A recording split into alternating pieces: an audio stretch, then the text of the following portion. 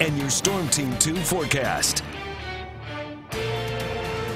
Well, the rain is here. We should stay mostly in the low to mid 70s through this evening with scattered showers around and even a chance of some thunder. Probably more likely to hear some of the thunder late evening.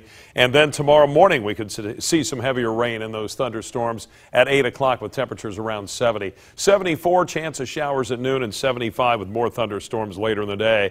Some rain around tonight. That chance of thunder too. That'll be on and off. And then we'll see those showers, thunderstorms on Thursday. There's even a marginal risk of some severe storms late in the day. We could see some winds kick up to 55 to 60 and a thunderstorm or two, but uh, again, that's only about a 5% chance. And then the rain chance will hang around right on through Saturday for us. Low temperatures tonight expected to hit the upper 60s around our area.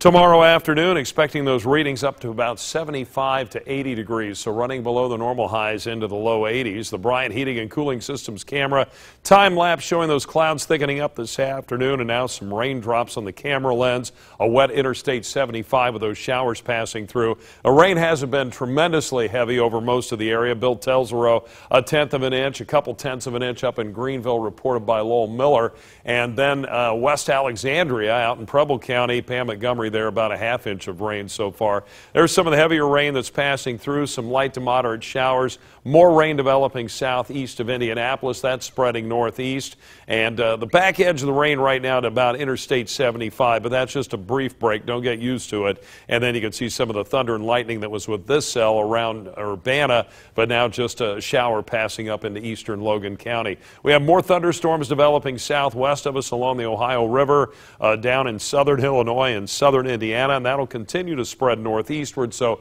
that rain chance will keep going into tonight. Currently in Dayton, 71. We have a south wind at 12, 90% the relative humidity, and you can see that rain spreading northeast tonight. The showers, thunderstorms across west central and southwest Ohio. The rain could be heavy at times. That'll be the pattern uh, right on through the day on Thursday. Some of those stronger thunderstorms possible in the evening Thursday. But we're not finished with the rain then because there's still a chance right on into Friday. Friday of more showers and thunderstorms in our area. Here's your forecast tonight. Some of the rain could be heavy at times with those showers.